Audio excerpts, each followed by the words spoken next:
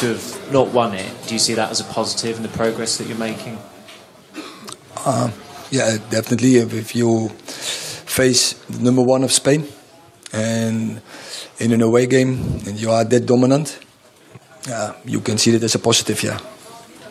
With, I know a lot's been said about Marcus, but does there come a point where others do need to chip in with more goals? He was the only player who scored for you tonight. I know the other one was an own goal, but the attack is very reliant on him still.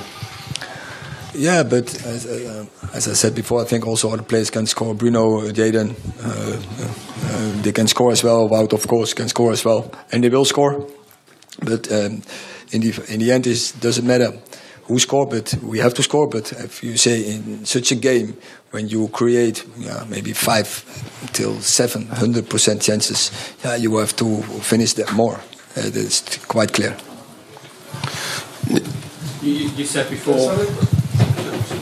Sorry. You said before the game this would show where both clubs maybe were at. Does it show the progress you've made to come to a place like this and almost win the game? Yes, we should have won this game. And so we have steps to go. But uh, I think it were two good teams, uh, highest level.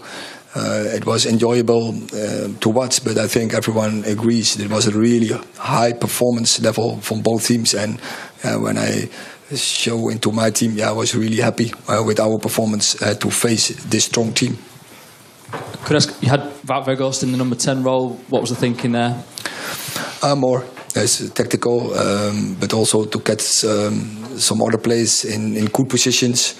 Uh, I like think the whole front of front three, like Bruno, Ressi, and um, and Jadon, uh, but also uh, to get a good press on. And I think yeah, the plan worked well. So, are you overall proud of your players rather than disappointed that you haven't won the game? Yeah, um, yeah. So a little bit more. So uh, the critic is more clinical, uh, finished chances. Um, and uh, that is what we didn't do because uh, in such a game uh, we created many chances. you can't expect actually, but we did.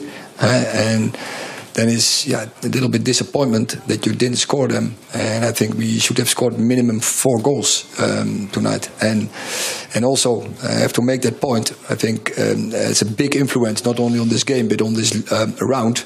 Uh, um, it was uh, on 2-1 a clear foul on Marcus Rashford. And yeah, you can discuss if it's in the box or outside the box, but yeah, definitely it's a red card. Erik, you speak about that situation. Were you given any clarity on as to why it wasn't a foul and a red card? If I want to. Uh, were you given any clarity from the officials yes, why it wasn't I, a foul? I, I, yeah, that's why I, I asked the referee why Huh? So he said it was outside the box and was no foul. And he said, no, well, I think the linesman and the referee were very good position to see. And I think we have the VAR. So, yeah, it was, uh, I think it's not good. It was a really bad decision. And I can't understand. Maybe they were impressed by the pressure Barca made, but that can't be and, uh, on the highest European level. Erik, you ask your players to be brave before this game, even being brave with passes like Casemiro playing there that cost us the goal in the end. Is that still okay? How much criticism can you give your players when they are playing that way and it does cost us a goal? Ah, but it has nothing to do with, with brave. And the formation is no good, and uh, scanning is obvious also no good. Uh, but it has nothing to do with, with braveness. Uh, I think it's a mistake, and especially from the formation. Would you criticise Casemiro for that mistake? Uh, I think he, he could have done better, but what I say, it's a team. I, I talk about formation. So the formation is no good. And, and that's why um, that the, uh, the mistake is coming. Uh, is what one at the back over there? Uh, at the back.